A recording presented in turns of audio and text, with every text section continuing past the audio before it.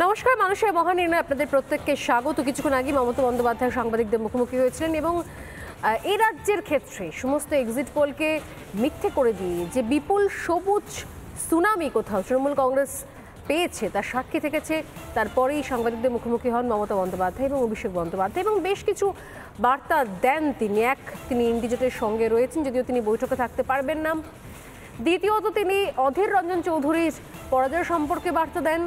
তার সঙ্গে নরেন্দ্র মোদীর ক্রেডিবিলিটি বিষয়েও তিনি বার্তা দেন। আমি এক এক করে আসব। এই মুহূর্তে আমার সঙ্গে যারা রয়েছেন স্টুডিওতে রয়েছেন বিজেপি মুখপাত্র কেয়া ঘোষ, রয়েছেন আইনজীবী এবং শাসকের পক্ষে যিনি বলবেন, সুকন্যা ভট্টাচার্য এবং রয়েছেন অভিনেতা অরিত্র দত্ত বণিক প্রত্যেককে স্বাগত রিপাবলিক বাংলা এবং মানুষের মহানির্ণয় স্পেশাল সেগমেন্ট যেটা আমরা সকাল থেকে চালাচ্ছি। আমি শুরুতেই আসব কে আপনার কাছে? যে আশা, প্রত্যাশা ছিল, কি মনে হয়? কোন জায়গায় অর্থাৎ মানে দু হাজার উনিশে যে ঝড় দেখতে পাওয়া গিয়েছিল, অনেকেই বলেছিলেন মোদি ম্যাজিক কিন্তু আপনারা বলেছিলেন যে না, এই রাজ্যে বাংলায় বিজেপির সংগঠন মজবুত হচ্ছে, মানুষ চাইছে বিকল্প এবং সেই বিকল্প একমাত্র বিজেপি। সেই জায়গা থেকে দাঁড়িয়ে দু হাজার চব্বিশে কী হলো? যে যেগুলো যেটা সিট ছিল, যেগুলো ধরে রাখার কথা ছিল, বাড়তি তো কিছু নয়, বরঞ্চ যেটা ছিল নিজের কাছে, সেটাও চলে গেল কোথাও। দেখুন মোদি ম্যাজিক তো অব্যাহত রয়েছে। সারা দেশে অব্যাহত রয়েছে ভারতীয় জনতা পার্টির যে আসন সংখ্যা, ভোট শেয়ার সেটা কিছুটা হলেও বেড়েছে সারা দেশের নিরিখে। পশ্চিমবঙ্গে হ্যাঁ আমরা কিছু আসন হারিয়েছি। নিঃসন্দেহে সেই হার আমরা মেনে নিচ্ছি এবং সমালোচনা তো হবে, আত্মসমালোচনা হবে। কিন্তু তার সঙ্গে সন্ডালি আমার কয়েকটা কথা আমাকে না বললেই নয়। উনি বললেন, মমতা বন্দ্যোপাধ্যায়ের প্রেস কনফারেন্সকে মন দিয়ে শুনছিলাম। উনি দোষ দিলেন, উনি বললেন বিজেপির এক গদ্দারের কথা। তো আমি বলছি, তৃণমূলে যে এই মুহূর্তে যে তিন গদ্দারকে তিনি প্রার্থী করেছিলেন, সে তিন গদ্দারই তো হেরেছে। একদিকে আমাদের তিন বিধায়ককে করেছিলেন কৃষ্ণ কল্যাণী, বিশ্বজিৎ দাস এবং মুকুটমণি অধিকারী। সেই ব্যাপারে বলুন না, নিজেদের দলের গদ্দারদের কথা একটু কথা বলুন। উনি বলেছেন, মোদিজি তার ক্রেডিবিলিটি হারিয়েছে। আমি বলছি দু হাজার একুশে আপনি হেরে গেছিলেন রাজ্যের মুখ্যমন্ত্রী। এই রাজ্যে ক্ষমতায় আপনি হেরে গেছিলেন তাহলে আপনার ক্রেডিবিলিটি হারিয়েছে আপনি পদত্যাগ করেননি কেন? মোদিজি তার নেতৃত্বে আবার এনডিএ সরকার তৃতীয়বারের জন্য গঠিত হচ্ছে এবং এই প্রথম এটা ইতিহাস সৃষ্টি হচ্ছে। কংগ্রেস ব্যতীত অন্য কোনো ভারত বিপক্ষ দল বিরোধী দল তাদের তিনবারের পরে সরকার গঠিত হচ্ছে তিনবারের জন্য তৃতীয়বারের জন্য মুখ্যমন্ত্রী প্রধানমন্ত্রী হচ্ছেন শ্রী নরেন্দ্র মোদীজি। কিন্তু কে? এখানেও তো এখানেও তো ঘটনা যে নিঃসন্দেহে এনডিএ সরকারের জন্য স্পষ্ট জনাদেশ রয়েছে। সন্দেহের অবকাশ নেই। কিন্তু যেটা মমতা বন্দ্যোপাধ্যায় বলছিলেন কিছুক্ষণ আগে সাংবাদিকদের মুখোমুখি হয়ে, যে নরেন্দ্র মোদীর দল, বিজেপি, তার একক সংখ্যাগরিষ্ঠতা, সেটা তো পাওয়া হলো না। ইউপির মতো জায়গা গোবলায় যে বলা হয় যে ইউপি হচ্ছে দিল্লি যাওয়ার আগের স্টপেজ ইউপি যার, দিল্লি তার, সেই ইউপি পর্যন্ত মুখ ফিরিয়ে নিয়েছে। তো তাহলে কোথাও তো নিশ্চয়ই মানে এই যে আমি বলছি আপনি ওভারঅল বলছেন ওভারঅল নিঃসন্দেহে। দক্ষিণ ভারতের ক্ষেত্রে বেশ কিছু জায়গাতে নিঃসন্দেহে ভালো ফল করেছে। তার মধ্যে উড়িষ্যাও রয়েছে এদিকে পূর্ব ভারতে। আমি আসছিলাম কিন্তু সেই জায়গায় দাঁড়িয়ে উত্তরপ্রদেশ সেখানেই বা কি হলো? শুধু কি বাংলাকে নিয়ে ভাবছেন নাকি মনে হচ্ছে কোথাও মেজর স্ট্র্যাটেজিতে কোথাও গন্ডগোল হয়ে গিয়েছিল? তো স্ট্র্যাটেজিতে গন্ডগোল না, আমি বললাম নিশ্চয়ই আত্মসমালোচনা হবে সমীক্ষা হবে কোথায় ভুল হয়েছিল কিন্তু আপনি যেটা বললেন আমি এক্ষুনি বলতেই যাচ্ছিলাম। স্বর্ণালী যে আমরা উত্তরপ্রদেশ নিয়ে আলোচনা করছি, বাংলা নিয়ে আলোচনা করছি, আমরা একবার দেখি উড়িষ্যার দিকে পঁচিশ বছর পরে ভারতীয় জনতা পার্টি সেখানে একক সংখ্যাগরিষ্ঠতায় সরকার গঠন করছে। অন্ধ্রপ্রদেশের মতন রাজ্যে সেখানে এনডিএ সরকার গঠন করছে। গতকাল অরুণাচল প্রদেশে আমরা সরকার গঠন করেছি। এই যে জয়গুলো এবং তার সঙ্গে এনডিএর যে জয় তৃতীয়বারের মতন এগুলো কি সব মিথ্যে, সব ঠুনকো। শুধুমাত্র একটা আঞ্চলিক দল, তারা রাজ্যে তিরিশটা আসন পেয়ে একজন স্বপ্ন দেখেছিলেন, কিন্তু আজকে তো আমরা শুনলাম রাহুল গান্ধী এবং মল্লিকার্জুন খাড়গের যে প্রেস কনফারেন্স, সেই তাদের আশাতে একেবারে জল ঢেলে দিলেন। প্রধানমন্ত্রী আর হওয়া হলো না, বাঙালি প্রধানমন্ত্রী হওয়া হলো না। তো সেই ফ্রাস্ট্রেশন থেকে তিনি এই কথাগুলো বলছেন। তিনি এতগুলো কথা বলেন ক্রেডিবিলিটির কথা বলে আমি বলছি, পশ্চিমবঙ্গ থেকে আপনার ক্রেডিবিলিটি কোথায় গেল? আপনার ক্রেডিবিলিটি আপনার খালি শুধুমাত্র পশ্চিমবঙ্গে। আমার- আমরা এই যে সার্টিফিকেটের কথা বলছেন প্রশ্ন আমরা দেখেছি পঞ্চায়েত ভোটে আমি আসব আমি উত্তর উত্তর নেব উত্তর নেব সুকন্যার কাছ থেকে এবং অরিত্রর প্রতিক্রিয়া নেব। তবে তার আগে এই মুহূর্তে সাংবাদিকদের মুখোমুখি হয়েছেন বিরোধী দলনেতা শুভেন্দু অধিকারী। আমি সরাসরি চোখ রাখছি সেদিকে। পশ্চিমবঙ্গে লাগাতার তিন মাস যা আছে ভারতীয় জনতা পার্টির জনতা কর্মী সমর্থক আমরা আক্রান্ত পরিশ্রম করেছি জনতা পার্টির প্রত্যেকটি কার্যকর্তা, কর্মী, সমর্থক আমরা অক্লান্ত পরিশ্রম করেছি এবং মানুষের মধ্যে সাড়াও আমরা ব্যাপকভাবে পেয়েছি। সাত দফার নির্বাচন হয়েছে এবং সেই নির্বাচনে প্রত্যেকটা দফার পরে আমাদের রাজ্য সভাপতি, রাজ্যের মুখপাত্র এবং বিভিন্ন সময়ে আমি বা অন্য নেতৃত্বরা, প্রার্থীরা, তারা নির্বাচনের পরিবেশ, পরিস্থিতি ইত্যাদি নিয়ে বক্তব্য রেখেছেন। এবং আমরা দেখেছি চতুর্থ দফা থেকে পরপর কীভাবে পুলিশের অত্যাচার এবং কিছু নির্দিষ্ট বুথে অ্যাবসেন্ট এবং মৃত ভোটারদেরকে, ভোটারদের ভোট বিকালের দিকে দিয়ে দেওয়া এবং শেষের দিকে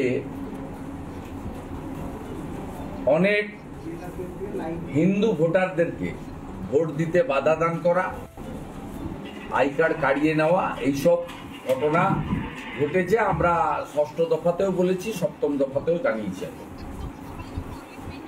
তবুও আজকের যে ফলাফল এই জনাদেশ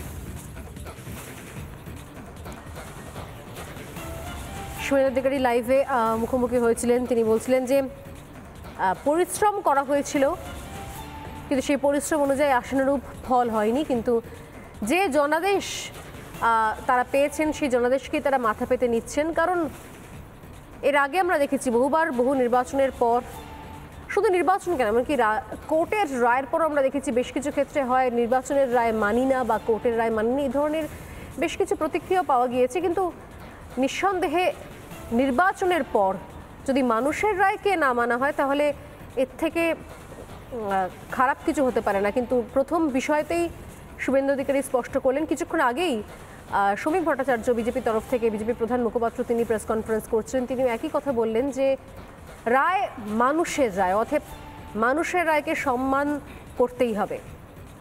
জনাদেশকে সম্মান জানিয়েই বিজেপি নেতৃত্বের বক্তব্য, যে পরিশ্রম করা হয়েছিল সেক্ষেত্রে কোন কোন জায়গায় ফাঁক থেকে গেল? নিঃসন্দেহে দেখতে হবে, নিজেদেরকে বুঝতে হবে। বেশ কিছু খবর, ঘটনা ইতিমধ্যে তাদের কাছে আসতে শুরু করেছে। আর কি বলছেন তারা? শুনব।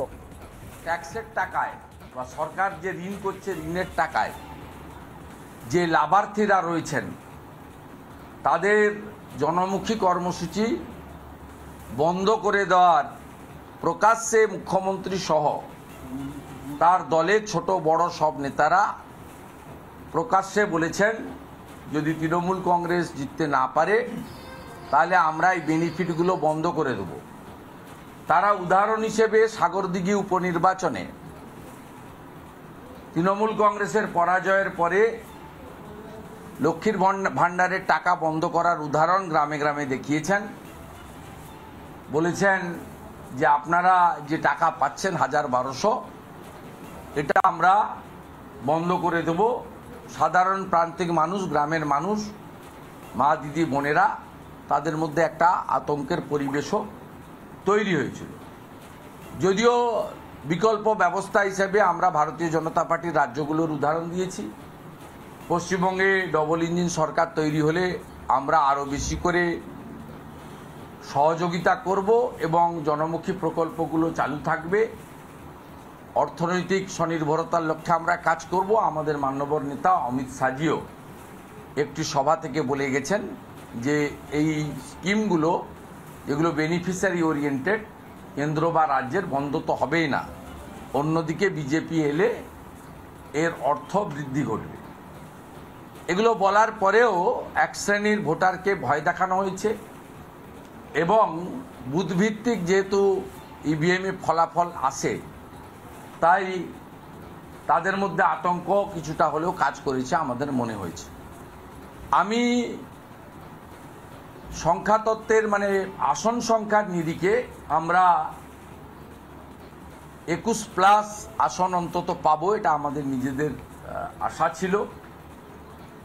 এবং যে লড়াইটা আজকে সারাদিন হয়েছে, ভোটের তারতম্যের নিরিখে আপনারা দেখবেন যে আমরা অল্প কয়েক পার্সেন্টেজের হেরফেরে বেশ কিছু আসন। আমরা অল্প ভোটে, লোকসভা ভোটের নিরিখে চোদ্দ, পনেরো লক্ষ ভোটার ভোট দিয়েছে। আমরা হয়তো লস করেছি। কিন্তু আমরা যে কারণে পশ্চিমবঙ্গের বিরাট জনগোষ্ঠীর প্রতি, ভোটার, ভদ্রমণ্ডলীর প্রতি কৃতজ্ঞ, যে তারা দু হাজার একুশ সালে নির্বাচন সেই নির্বাচনের থেকেও এক শতাংশের বেশি ভোট আমাদের দিয়েছেন, এক নম্বর। দু হাজার একুশ সালে আমরা সাতাত্তরটা বিধানসভায় জিতেছিলাম, তার থেকেও বেশি সংখ্যক বিধানসভা, প্রায় একশোর কাছাকাছি বিধানসভাতে তারা আমাদেরকে এগিয়ে রেখেছেন এবং যোগ বিয়োগের অঙ্গে আমরা আপাতত বারোটা আসনে জয়লাভ করেছি। ইসিআইর যে ওয়েবসাইট আছে, সেই ওয়েবসাইটেও এর পরিসংখ্যানের মধ্য দিয়ে আপনারা দেখতে পাবেন। আর একটি দুটি আসনে এখনও গণনা চলছে বলে আমরা জানতে পেরেছি। শেষ হয়নি গণনা। তা আমরা ভারতীয় জনতা পার্টি পশ্চিমবাংলার প্রধান বিরোধী দল হিসেবে এই অপশাসন, কুশাসন, দুর্নীতি এর বিরুদ্ধে যে সর্বাত্মক লড়াই আমাদের একুশ সালের পর থেকে বিশেষ করে ছিল, সেই লড়াই আমাদের জারি থাকবে এবং বিরোধী দল হিসাবে এই যে বিপুল সংখ্যক ভোটার ভোট দিয়েছেন, তাদের স্বার্থ পূরণে বা তাদের যে আমাদেরকে কেন্দ্র করে আশা বা স্বপ্ন পূরণে ভারতীয় জনতা পার্টি সক্রিয়ভাবে কাজ করবে, একটা মুহূর্ত আমরা নষ্ট করতে চাই না। আমরা কেন্দ্রে, বিপুল কেন্দ্রে আমাদের তিনশোর কাছাকাছি আসন নিয়ে এনডিএর আশা এবং যে বিধানসভাগুলোতে ভোট হয়েছে, তাতে সরাসরি বিজেপি, অরুণাচল, উড়িষ্যার মতো রাজ্যে ক্ষমতায় এসেছে, আমাদের পার্শ্ববর্তী রাজ্য উড়িষ্যা, সেখানে বিপুল ম্যান্ডেট বিজেপি পেয়েছে এবং এনডিএ টিডিপিকে সাথে নিয়ে অন্ধ্রপ্রদেশে ক্ষমতায় এসেছে। আমরা মনে করি এই বিপুল ম্যান্ডেটের পরে এবং পশ্চিমবাংলায় যে বারোটি আসনে আমরা নির্বাচিত হয়েছি, সেখানে আমাদের কর্মী সমর্থক শুভানুধ্যায়ীদের আমরা বিজয় মিছিলের নামে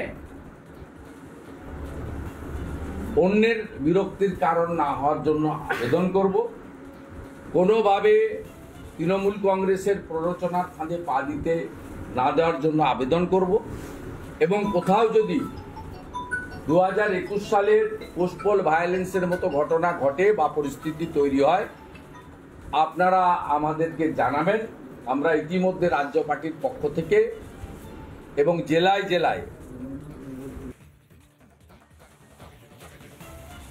এটা ধরে নিয়ে আমরা কন্ট্রোল রুম খুলেছি।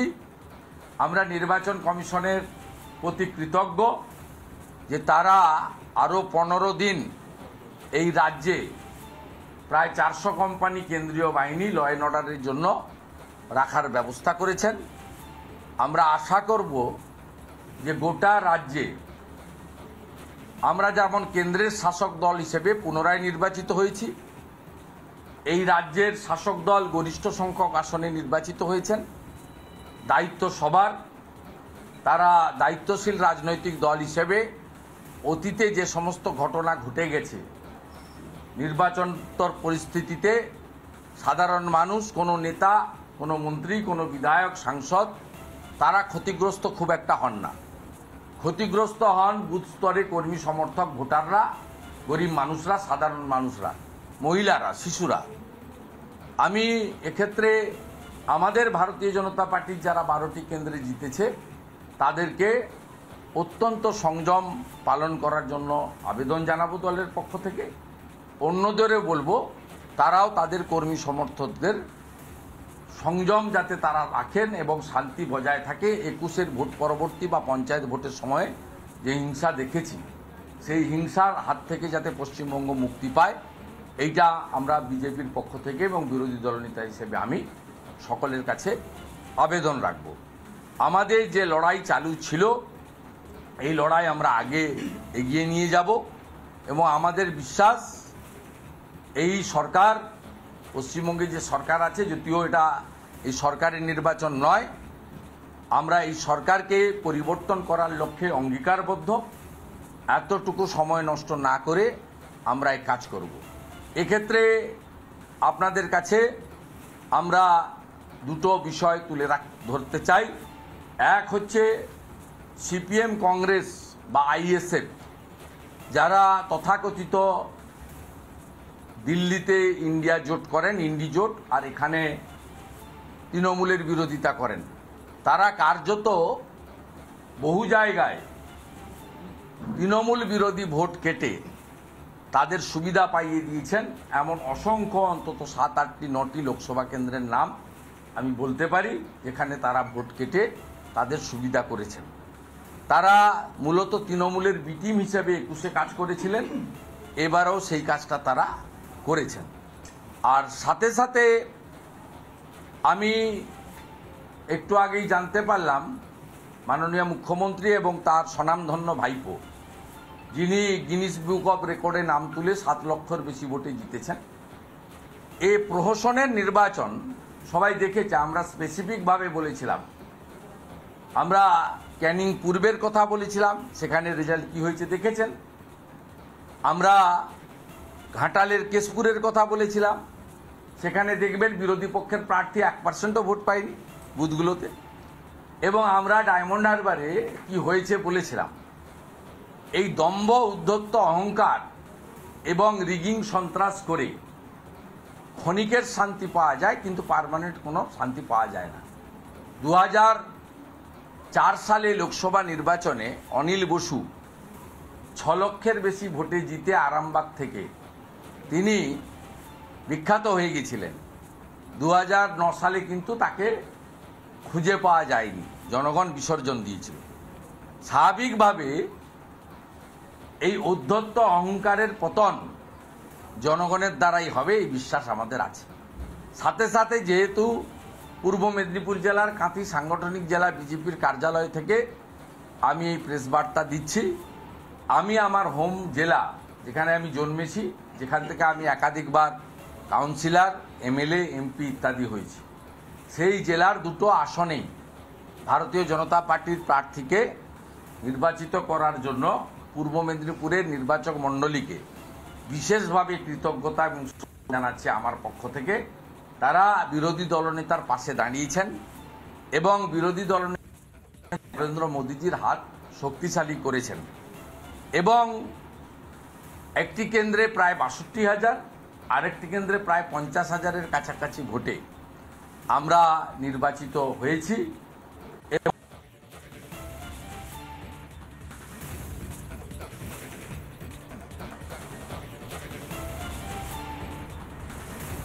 শুভেন্দু অধিকারী, তিনি সাংবাদিকদের মুখোমুখি হয়েছিলেন এবং একই জায়গা থেকে যে একদিকে মানুষের রায়, অন্যদিকে দেশে এনডিএ জোটের পক্ষে স্পষ্ট জনাদেশ, অন্যদিকে সিপিএম এবং কংগ্রেসের এ রাজ্যের ক্ষেত্রে যেটা অভিযোগ কিছুক্ষণ আগে মমতা বন্দ্যোপাধ্যায় করলেন, প্রায় তারই প্রতিফলন শুনতে পাওয়া গেল শুভেন্দু অধিকারীর ক্ষেত্রে। অর্থাৎ ভোট কাটুয়ার কাজ, সেটাও সেটাও কিন্তু শুনতে পাওয়া গেল। আমি কথা বলছিলাম কিছুক্ষণ আগে কেয়ার সঙ্গে যে রাজ্য এবং একই সঙ্গে দেশ, বিশেষত ইউপি সেক্ষেত্রে কি হলো হঠাৎ করে এই পরিবর্তন? এই এটার কারণ কি বলে মনে হচ্ছে? যে চোরা স্রোতগুলো সামনে চলে আসছে সেগুলো নিয়ে কথা বলছিলাম, কিন্তু রাজ্যের ক্ষেত্রে আমরা দেখলাম কিছুক্ষণ আগে মমতা বন্দ্যোপাধ্যায় তিনিও প্রেস কনফারেন্স করলেন। তিনি বললেন যে যে পরিস্থিতির মধ্যে ইলেকশন শেষ হলো রেজাল্ট বেরোলো, তিনি এরপর বললেন যে রাজনৈতিক বদলা হবে।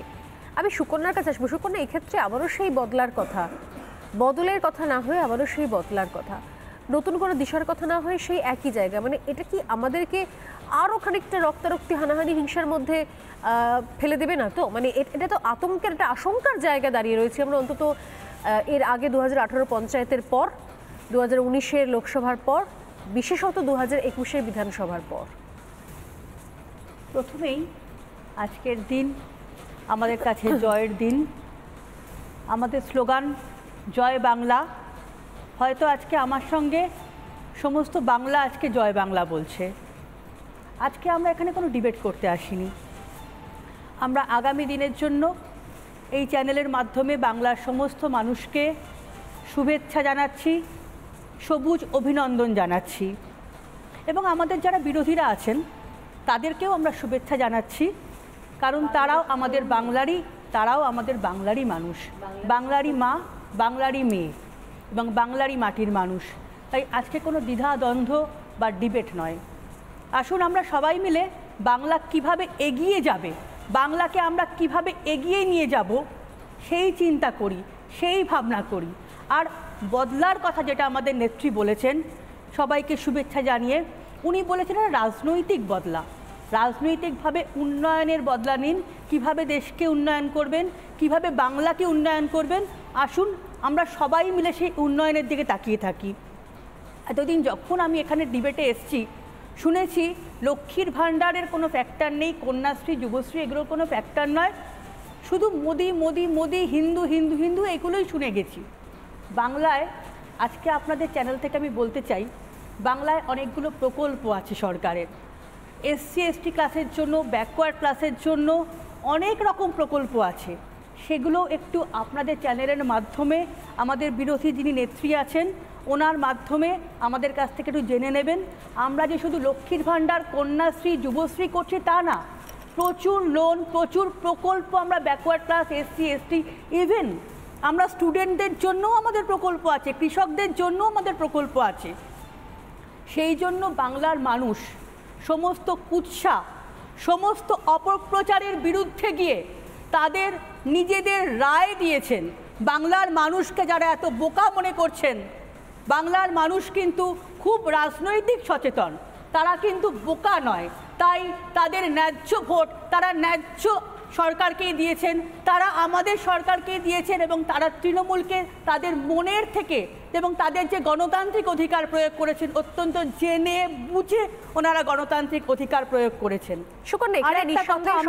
প্রত্যেককে বলতে চাই ভাতা এবং- এখান থেকেই বলতে হ্যাঁ। চাই দয়া করে এই হিংসে বিদ্বেষ সবার মধ্যে ছড়িয়ে দেবেন না এটা আমাদের নেত্রীও বারবার করে যেরকম বলছেন আমাদের বিরোধী নেত্রী এখানে আছেন কেয়াদি প্রত্যেকের মাধ্যমে আপনাদের চ্যানেলের মাধ্যমে আমরা জরুরি বাড়ছি চাইছি চ্যানেলের মাধ্যমে আমরা এই বার্তা দিতে চাইছি না তৃণমূলের পক্ষ থেকে এই বার্তা দিতে যাচ্ছি বাংলার মানুষের পক্ষ থেকে এই বার্তা দিতে যাচ্ছি বাংলাটাকে শান্তির বাংলা গড়ে তুলুন।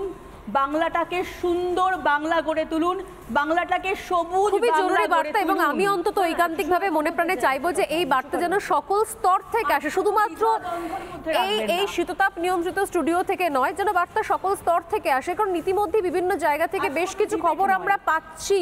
পেতে শুরু করেছি। তো সেক্ষেত্রে নিঃসন্দেহে আমি আমি আমি কেয়া হাত তুলছেন, কেয়ার কাছে যাব। তবে তার আগে আমি একটু জানিয়ে রাখি, এই মুহূর্তে যে ছবি আমরা দেখছি, একদম বিজেপির সদর দপ্তরের ছবি দিল্লি থেকে এবং সেখানে সবাই অধীর আগ্রহে অপেক্ষা করছেন। কিছুক্ষণের মধ্যে নরেন্দ্র মোদী, তিনি বক্তব্য রাখবেন। আমাদের নজর থাকবে সেদিকে যে কি বলছেন? নরেন্দ্র মোদী কি বক্তব্য রাখছেন? এবারে নির্বাচনের পরে, ফল প্রকাশের পরে, প্রত্যেকে সেখানে অধীর আগ্রহে অপেক্ষা করছেন। আপনারা দেখতে পাচ্ছেন সেই ছবি ডাইরেক্ট লাইভ টেলিকাস্ট লাইভ ছবি। সেই ছবি এক্সক্লুসিভলি আপনাদের সামনে তুলে ধরছি আমি। কেয়া হাত তুলছিলেন কিছু বলার জন্য। অরিত্র রয়েছেন। কেয়া, খুব সংক্ষেপে। সেকেন্ডে আমি খালি বলতে চাই। চমৎকার বললেন সুকন্যা, আমি আপনাকে সত্যি অভিনন্দন জানাচ্ছি। আপনি বললেন যে শান্তির বার্তা।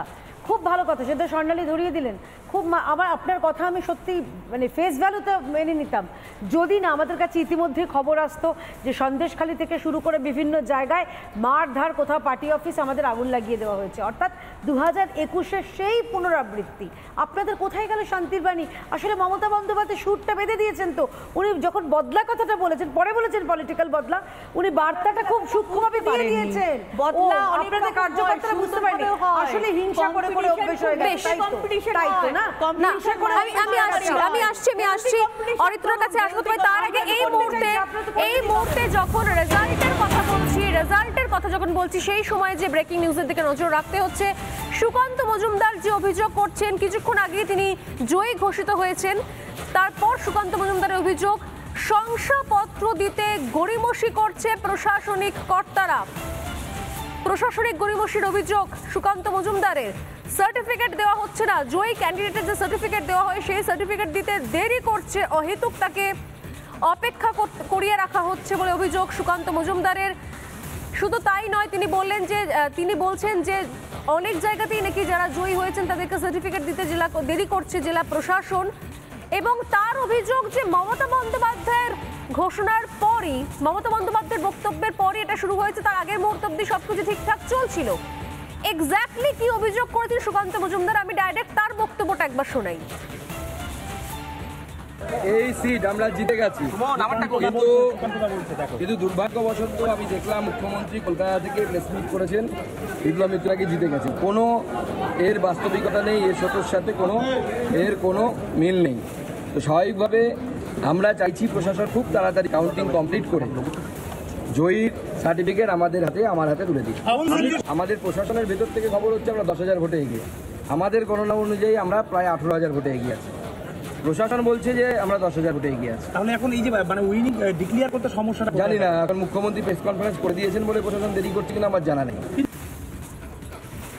মমতা বন্দ্যোপাধ্যায় প্রেস কনফারেন্স করে দিয়েছেন এরপর আর সার্টিফিকেট দিচ্ছেন। আমি সরাসরি অরিত্রর কাছে। সরিত্র অনেকেই বলছেন যে আসলে বাংলা বাঙালির মনের মধ্যে পশ্চিমবঙ্গের বাঙালি এদেশের ভারতীয় বাঙালিদের মধ্যে একটা অদ্ভুত সংস্কৃতি তৈরি হয়ে গেছে মানসিক জায়গা থেকে। বাম জমানা থেকে শুরু করে এখনও পর্যন্ত কি সংস্কৃতি? না রাজনৈতিক প্রতিহিংসার সংস্কৃতি? কি সংস্কৃতি? না আমরা ঘুষ দেব কাঠমানি নেব কোনো কাজ সহজভাবে হবে না। টাকার বিনিময়ই হবে। চিরকুট হোক বা টাকা হোক, তার বিনিময়ে চাকরি পেয়ে অদ্ভুত একটা সংস্কৃতিতে আমরা অভ্যস্ত হয়ে গেছি বলে আমাদের কাছে আজকাল বোধহয় চুরি, দুর্নীতি, অভাব, অভিযোগ, কাটমানি সব কিছুই খুব নর্মাল মনে হয়। মনে হয় এটাই আমাদের ভিত্তি, এটাই আমাদের ভবিষ্যৎ। আর আমাদের কিছু চাই না।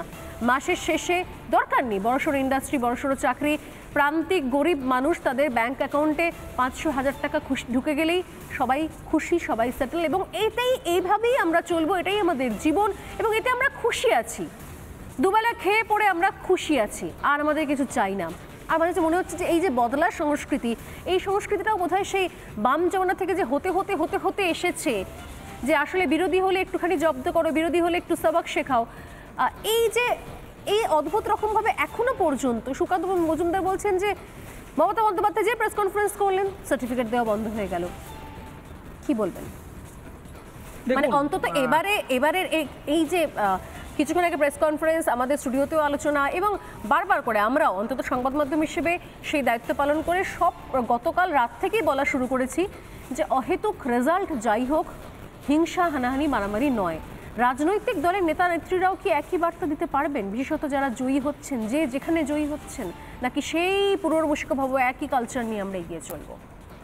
দেখুন, প্রথম কথা তৃণমূল কংগ্রেস তো সিপিএমের মিসম্যানেজড ফ্রেমওয়ার্কের বাই প্রোডাক্ট ফলে কিছু কমন ফিচার্স তাদের মধ্যে থাকবেই। এবার আপনি ইত্যাদি নিয়ে ভাবছেন, আমার কাছে লাস্ট ইনপুট এলো যে রাশিয়ার পক্ষ থেকে পুতিন তিনি নরেন্দ্র মোদীর সাথে ফোনে কথা বলতে চেয়েছেন, এই ভোট টোট মিটে গেলেই সেই ফোন কলটা অ্যারেঞ্জ করা হবে। ফলে ভারতবর্ষের এই মুহূর্তে জিও পলিটিক্যাল পজিশনটা আমার কাছে অনেক বেশি ইম্পর্টেন্ট এবার দেখুন, আজকে মমতা বন্দ্যোপাধ্যায় যে প্রেস কনফারেন্সটা করলেন, সেখান থেকে আমার দু তিনটে ইনপুট আমি পেয়েছি। প্রথম কথা হচ্ছে যে তিনি প্রথমে বললেন যে মানুষকে একটা ভুল বোঝানোর প্রবল চেষ্টা করে যাচ্ছে এই আইএনডিআইএ অ্যালায়েন্সের যে সংখ্যাগরিষ্ঠ সরকার এলে নাকি সে সংবিধান নিয়ে যা খুশি করতে পারে। কিন্তু যা খুশি করা যায় না। তার কারণ হচ্ছে, উনিশশো তিয়াত্তর সালের কেশবানন্দ ভারতী কেসে সুপ্রিম কোর্টের জাজমেন্ট আছে doctrine of basic structure of the constitution তার মানে সংবিধানের প্রস্তাবনা ফান্ডামেন্টাল রাইট সহ বেসিক স্ট্রাকচারকে পার্লামেন্ট যখন তখন নিজের ইচ্ছে খুশি মতো, যেটা ইন্দিরা গান্ধীর আমলে করে পুরো ঘেটে ঘন্ট করে দেওয়া হয়েছিল ফর্টি সেকেন্ড অ্যামেন্ডমেন্টে সেই রকমভাবে যখন তখন যা খুশি অ্যামেন্ড করা যায় না। এটা বিজেপি কেন? কংগ্রেস বলুন সিপিএম বলুন বা ভারতবর্ষের যে কোনো পার্টি বলুন তারা একক সংখ্যাগরিষ্ঠতা থাকলেও এটা করতে পারে না। এখন দেখুন যে সংখ্যাটা এই মুহূর্তে অ্যাটলিস্ট আপনাদের টিভিতে যে সংখ্যাটা চলছে, সেই সংখ্যাটা আমার কাছে একটু আনস্টেবল বলে মনে হচ্ছে। তার কারণ হচ্ছে, বারবার অনারেবল চিফ মিনিস্টার কনস্টিটিউশনাল অ্যামেন্ডমেন্টের কথা বলছেন বিল পাশের কথা বলছেন। তার মানে হচ্ছে যে গুরুত্বপূর্ণ অ্যামেন্ডমেন্ট যেটা করলে অ্যাকচুয়ালি গ্রোথফুল যেরকম ধরুন তিনটে এই যে ক্রিমিনাল ল নিয়ে আমাদের একটা মডিফিকেশন করা হয়েছে, এখন ডিজিটাল কম্পিটিশন বিল যেগুলো আসছে, এইগুলো নিয়ে যে কর্মকাণ্ডগুলো করা হচ্ছিল পার্লামেন্টে অদ্ভুত ব্যাপার। রাজ্যসভায় যখন পাশ হয়, তখন তো আপনারাই যখন ব্যাক আউট করেন, বেরিয়ে চলে আসেন, বিদ্রোহ ঘোষণা করেন, আপনারাই তো অ্যাবস্টেন ফ্রম ভোটিং করেন। ফলে বাইরে এসে মানুষকে সংবিধান নিয়ে ভুলটুল না বোঝানোই ভালো। আর দ্বিতীয় কথা হচ্ছে, বারবার এই মমতা বন্দ্যোপাধ্যায়ের কথাটা অ্যানালাইজ করলে আমার দু তিনটে জিনিস কানে বাজে উনি জিতে মানে ওনার পার্টি সংখ্যাগরিষ্ঠতা পেয়েছে, আমি শুভেচ্ছা জানাই। আমরা বেটার গভর্নেন্স তার থেকে এক্সপেক্ট করব এবং উনি অভিষেক বন্দ্যোপাধ্যায়কে এগিয়ে দিচ্ছেন, হয়তো দু হাজার ছাব্বিশে আমরা অভিষেক বন্দ্যোপাধ্যায়কেই নেক্সট জেনারেশন অফ তৃণমূলের পাবো। সেটা আমাদের ভবিষ্যৎ আমরা দেখব, সেটা আমরা বেটার গভর্নেন্স এক্সপেক্ট করছি রিফর্ম এক্সপেক্ট করছি। কিন্তু যেটা বারবার তিনি বলছেন জুডিশিয়ারির দিকে আঙুল তুলছেন যে, এই তো হাইকোর্ট ছাব্বিশ হাজার লোকের চাকরি কেড়ে নিয়েছে, এই তো হাইকোর্ট কাস্ট সার্টিফিকেট এ করে দিয়েছে। তার মানে দেখুন ওনার মনে এখনও সেই আতঙ্কটা থেকে যাচ্ছে যেটা আমি বলেছিলাম আপনাকে যে আপনি আজকের রেজাল্ট দেখছেন আমি জুলাই মাসে সুপ্রিম কোর্টের কনস্টিটিউশনাল বেঞ্চের দিকে তাকিয়ে আছি। তার কারণ হচ্ছে দেখুন আপনি বারবার যেটাকে এই ইনসেন্টিভ ভাতা ইত্যাদি বলার চেষ্টা করছেন লক্ষ্মীর ভাণ্ডারকে। সেটা আমরা অনেক বিভিন্ন প্ল্যাটফর্মে বলেছি, কিন্তু আনফর্চুনেটলি আমরা মানুষকে বোঝাতে ব্যর্থ হয়েছি। তার কারণ, আমরা এই নেশন স্টেট এই যে কনসেপ্টটা কনসেপ্ট অফ জাতি কনসেপ্ট সেই, সেইটাকে আমরা বাঙালিকে শেখাতে পারিনি যে আমার হাজার টাকার দরকার নেই, আমার দশ হাজার টাকার রোজগার করার ক্ষমতা আছে। আমার ব্যবসা আমি চাইলে করতে পারি, আমার চাকরি আমি চাইলে করতে পারি, আমার পোটেনশিয়াল কতটা সেটা একটা জাতিকে বোঝাতে হয়। এবার সেটা সিপিএমও সেইভাবে কিছু করে উঠতে পারেনি। আনফর্চুনেটলি এই আমাদের এই সোসাইটিটাকে পলিটিসাইজ করে, আমাদের যে ডেমোগ্রাফিটাকে পলিটিসাইজ করে তৃণমূলও সেই একই রকম ধারা বয়ে নিয়ে যাচ্ছে। ফলে আনফর্চুনেটলি এটা আমরা যতই বিরোধিতা করি, এটা মেনে নিতেই হবে যে লক্ষ্মীর ভাণ্ডার থেকে কন্যাশ্রীর মতো প্রকল্পের একটা ম্যাসিভ ইম্প্যাক্ট এই পপুলেশনের মধ্যে রয়েছে এবং তার রেজাল্ট আমরা এই ডেমোক্রেটিক ইলেকশনের মধ্যে দেখতে পাচ্ছি। কিন্তু বারবার যেটা আমি বলার চেষ্টা করছি যে যেভাবে ইন্ডিয়া জোটের কখনো সাথে আছি কখনো পাছে নেই এখন আবার হঠাৎ করে ইন্ডি জোটের সাথে যুক্ত হয়ে যাচ্ছে এবং কনস্টিটিউশনাল অ্যামেন্ডমেন্ট নিয়ে বারবার প্রশ্ন করছে সুপ্রিম কোর্ট হাইকোর্টের জাজমেন্ট নিয়ে বারবার প্রশ্ন করা হচ্ছে। এইগুলো আপনাকে একটা সূত্রে বাঁধতে হবে তাহলেই বুঝতে পারবেন যে পার্লামেন্টে যাওয়া বা কে কত জিতছে সেটা এদের প্রশ্ন নয়। এদের প্রশ্নটা হচ্ছে যে কনস্ট্যান্টলি একটা মানুষের মধ্যে ভুল ধারণা তৈরি করে দেওয়া এবং সেইটা দিয়ে মানুষকে আলটিমেটলি যাতে মানুষ প্রশ্ন না করে। কারণ আপনাকে প্রশ্ন করতে হবে, তৃণমূল জিতে গেছে বলে তার একেবারে ভগবান হয়ে গেছে। আমি যেটা একটু আগেই দুপুরে আপনার সাথে বলেছিলাম যে মাথায় রাখবেন যে যে কোনো সরকার আমাদের এখানে যদি বিজেপি জিততো তাও আমি একই কথা বলতাম। যত সংখ্যক মানুষ তৃণমূল কংগ্রেসকে ভোট দিয়ে জয়যুক্ত করেছে, তার থেকে অনেক বেশি সংখ্যক মানুষ ভোট দেননি। তার কারণ আইদার তারা বিরোধীতে দিয়েছেন অথবা আমাদের একটা জায়গায় যদি হান্ড্রেড পার্সেন্ট পপুলেশন থাকে ঠিক। হান্ড্রেড পার্সেন্ট তো ভোট হয় না। তার মানে যে পরিমাণ মানুষ ভোট দিয়েছেন ধরুন সিক্সটি পার্সেন্ট ভোট দিয়েছেন সিক্সটি পার্সেন্টের মধ্যে ফর্টি বা ফর্টি টু পার্সেন্ট তৃণমূল পাচ্ছে। তার মানে এবার ভেবে দেখুন যে সংখ্যক মানুষ আসলে ভোট দিল তার থেকে অনেক বেশি সংখ্যক মানুষ তারা ভোট দিলেন না বিরোধীতে ভোট দিলেন অথবা এন্টার ইলেকট্রাল প্রসেসে পার্টিসিপেট করলেন না। সেই মানুষগুলোর কথাটা আপনাকে আরও বেশি করে ভাবতে হবে যে তারা কি বলছে, তারা কি চাইছে, তাদের অ্যাসপিরেশনটা কি? শুধু আমার একটাই কনক্লুসিভ পয়েন্ট থাকবে, আমি এক্সপেক্ট করব যেটা, দেখুন আমাদের ফিউচারটা দেখতে হবে কি হচ্ছে।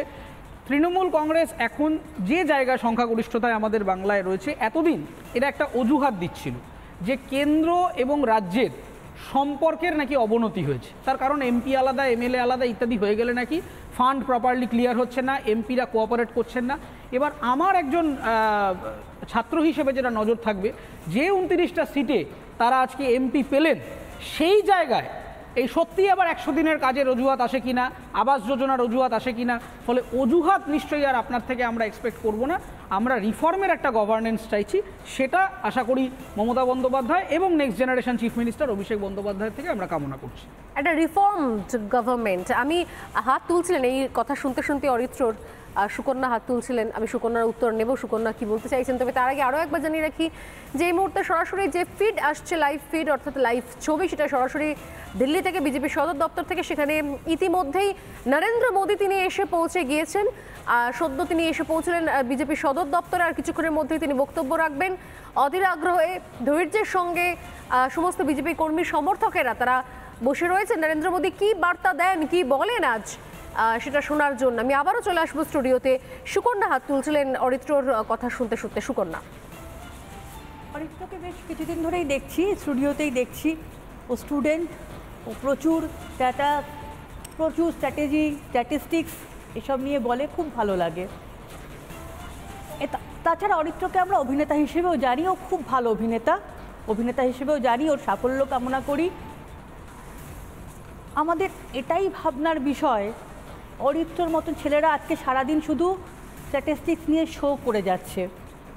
ওর কাছে আমাদের প্রশ্ন, অরিত্র ভাই, তুমি যদি তোমার এই সময়টা তোমার অভিনয়ের জগতে বা পড়াশোনার জগতে দিতে তোমার মতো একটি কৃতি ছাত্রকে হয়তো পশ্চিমবঙ্গ পেত। কেন সেফোলজি কোনো সাবজেক্ট নয় মিডিয়া অ্যানালিসিস কোনো সাবজেক্ট নয়। অভিনয়টাও তোমার ইন্ডিয়ান পলিটিক্যাল অ্যাকশন কমিটির নাম শুনেছেন? সেখানে ছেলেরা কাজ করে না? ও- ওটাও তারা কি করে?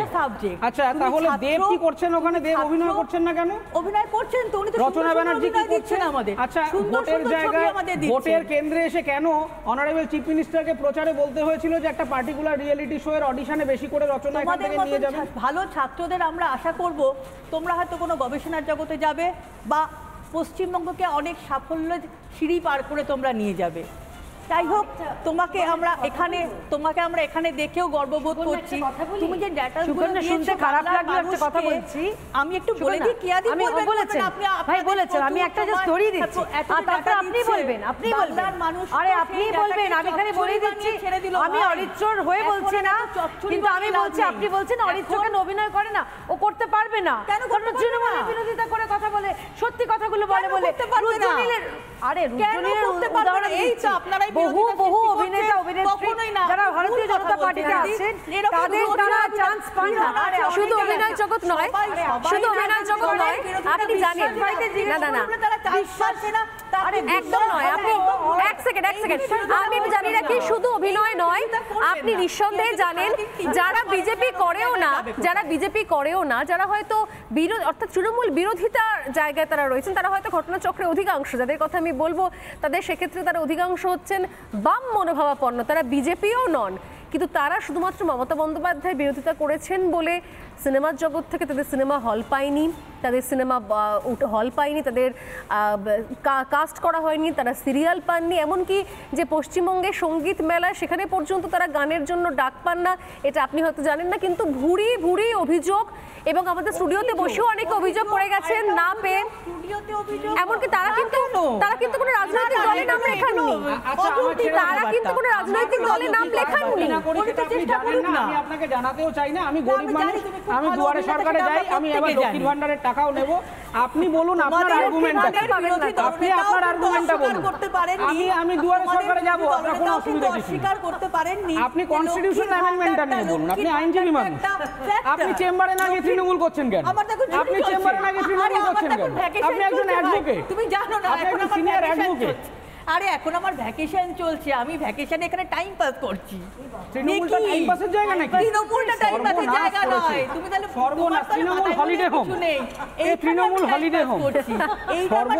জায়গা এখন আমার ভ্যাকেশন চলছে তুমি জানো না। না, আমি- আমি বলি, ক্রিমিনাল লর অ্যামেন্ডমেন্টের কথাটাও বলল। ও হয়তো সেকশন ফর্টি ওয়ানটা ঠিক জানে না। ফর্টি ওয়ানটা হচ্ছে কোনো কোনো অকারণ দেখিয়েও যে কেউ যাকে অ্যারেস্ট করে নিতে পারে, সেখানে আপনাকে প্রমাণ করতে হবে আপনি দোষী না নির্দোষী। এটা হচ্ছে section forty one of criminal procedure code এটা হচ্ছে ভয়ঙ্কর একটা জিনিস, যাতে সিবিআইডি যখন তখন আপনার বাড়ি চলে যাবে। আপনি তাকে জিজ্ঞেস করতে পারবেন না কেন এলেন, এবং আপনাকে প্রমাণ করতে হবে আপনি দোষী না নির্দোষী। আগে যেটা ছিল, আগে পুলিশ প্রশাসনকে প্রমাণ করতে হতো আমার দোষটা কোথায়? এখন কিন্তু সেই সুযোগ আপনার কাছে নেই। যার- যার আইএনডিআই লিড নিদর্শনটা- কংগ্রেস পিএমএলএ ইউএপিএ দুটো ড্রাকোনিয়ান অ্যাক্ট কেন রিপিল করেনি? দীর্ঘদিন ছিলেন। সুপ্রিম কোর্ট পিএমএলএ সেকশন লাগু ফিফটি করে সাবসেকশন ED টু বা C- এটাকে হাইলাইট করেছে। আপনি আমাকে বলুন আমার যে বাড়িতে চলে আসছে, ধরে নিয়ে চলে যাচ্ছে, কেন রিপিল করা করে বিজেপির আগে আপনারা কি কিন্তু করছিলেন? কোনো বিজেপি তো এই সেদিন না, তার আগে কংগ্রেস কি না। করছিল? আপনারা তো পার্লামেন্টে ছিলেন। এই কারণেই মমতা ব্যানার্জি তৃণমূল সরকার এবং বিরোধীদের প্রতিবাদটা এইখানেই আমাদের কনস্টিটিউশন যদি ওরা হয় ওইখানে ভোট রাজ্যসভায় পাস হয়েছিল, সেইখানে আমাদের প্রতিবাদটা আমাদের প্রতিবাদটা হচ্ছে সংখ্যাগরিষ্ঠতা হলেই সংবিধানটাকে ওনারা আদালত, সংবিধান- বেশ সংবিধানের সব- আবারও পার্লামেন্টে কথা হবে পার্লামেন্টে কথা হবে এবং আশা করি আশা করি এতজন এমপি পাওয়ার পর এবার যখন গুরুত্বপূর্ণ ভোটিংগুলো হবে এতদিন পর্যন্ত আমরা দেখে এসেছি তার নথি রয়েছে, প্রমাণ রয়েছে ডকুমেন্টেশন আছে, যখনই গুরুত্বপূর্ণ ভোটাভুটি হয়, তৃণমূল কংগ্রেসের এমপিরা কোনো একটা অদৃশ্য কারণে তারা পার্লামেন্ট থেকে গায়েব হয়ে যান। এবার অন্তত আশা করব, এত এমএলএ, এত এমপি পাওয়ার পর, এবার যখন গুরুত্বপূর্ণ ভোটাভুটিগুলো হবে, তখন যেন তৃণমূল কংগ্রেসের এমপিরা পার্লামেন্টে থেকে ভোট দেন, তাদের মতামত জানান, পক্ষে হোক, বিপক্ষে হোক, এবার অন্তত আশা করা যাবে মানে গায়েব হয়ে যাবেন, শেষ মুহূর্তে এরকম যেন না হয়। কিছুক্ষণ আগে আমরা কথা বলছিলাম দেব ঘাটাল থেকে জয়ী প্রার্থী দেব তিনি ঠিক কি জানাচ্ছেন একবার শুনব।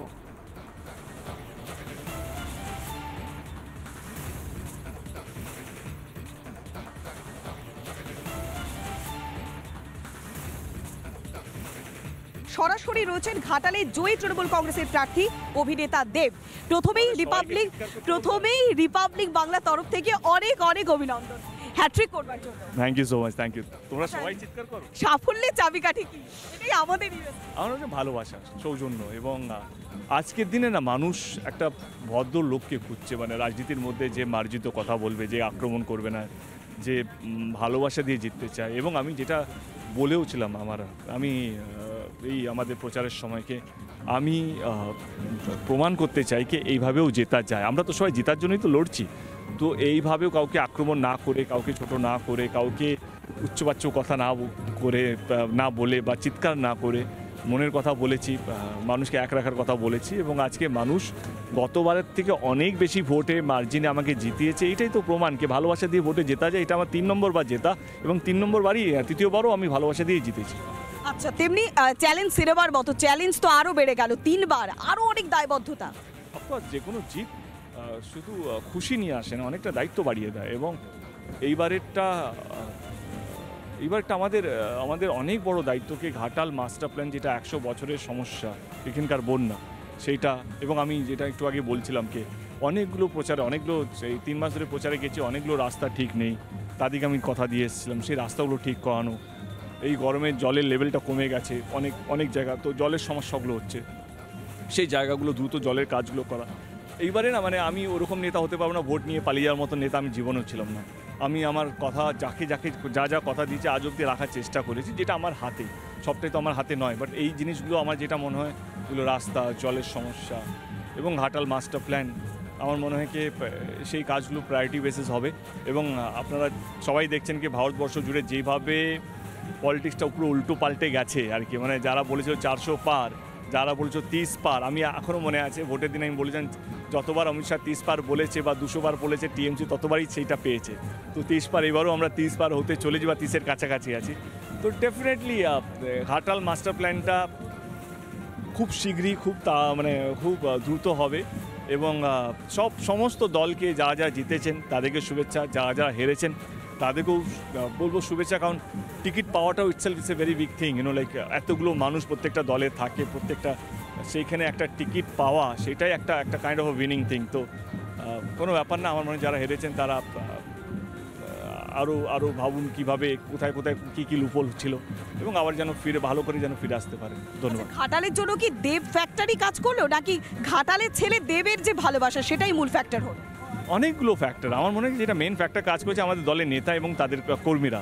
যেভাবে তিন মাস ধরে এই এই গরমে খেটেছে, যেভাবে বাড়ি বাড়ি গেছে, মানুষের কাছে পৌঁছেছে, সেটা ডেফিনেটলি এ বিগ ফ্যাক্টর এবং আজকে শুধু ঘাটাল বলব না, এইবারে তো তৃণমূল কংগ্রেস সুইপ করল, যদি গোটা বাংলা জুড়ে যদি দেখি। তো সেই জায়গা থেকে মমতা ব্যানার্জি, একদম। মমতা ব্যানার্জি অভিষেক ব্যানার্জি এই দুটো নামটা অনেক বড় ফ্যাক্টর এবং অনেকটা কাজ করেছে এই নামটা। এবং তাদের যে চিন্তা ভাবনা যা যেভাবে ওনারা ওনারা সাজিয়েছিলেন যেভাবে ওনাদের প্ল্যানিং ছিল আমার মনে হয় সমস্ত কিছু নিয়ে এই এই উইনটা তৃণমূল কংগ্রেসের। এক লাইনে কি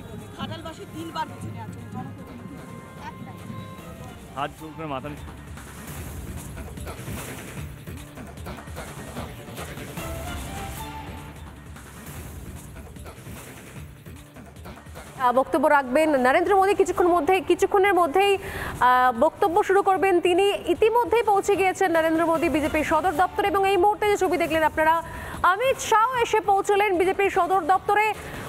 অধীর আগ্রহে অপেক্ষা করছেন বিজেপির কর্মী সমর্থকেরা। আজকে নির্বাচনের ফল প্রকাশের পর ঠিক কি বার্তা দেন অমিত শাহ এবং নরেন্দ্র মোদী?